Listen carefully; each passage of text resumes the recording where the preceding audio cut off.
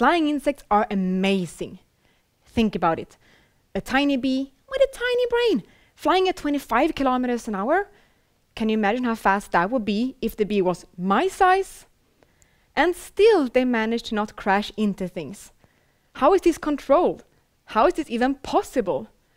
To be able to safely navigate through complex environments with this speed, you basically need to be a superhero. My name is Nellie, and I study flight control in bumblebees. So, how do insects control their flight? Well, they use information about optic flow.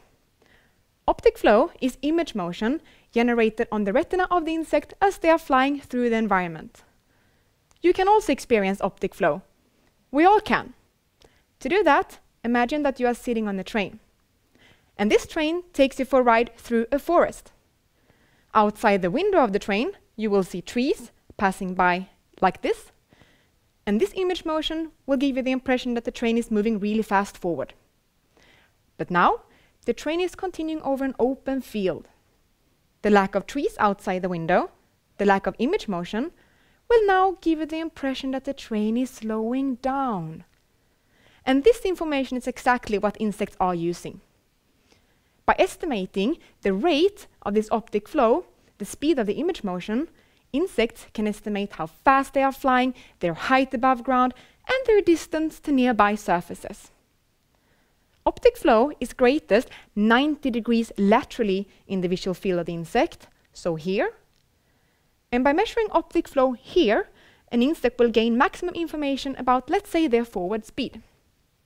However, if you are a bumblebee flying in a forest, constantly facing obstacles ahead of yourself, it is not very efficient to always and only measure optic flow here.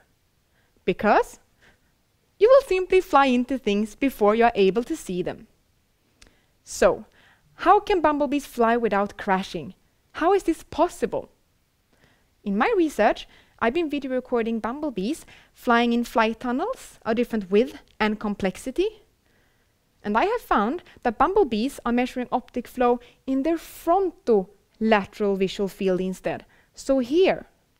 And by measuring optic flow ahead of yourself, a bumblebee are able to detect changes in the environment before they reach these changes. They can thereby adjust their flight path accordingly and avoid collision. Now this information takes me one step closer to understanding visually guided obstacle avoidance in flying insects. And this was my story about how tiny superheroes can manage to do great things. Thank you.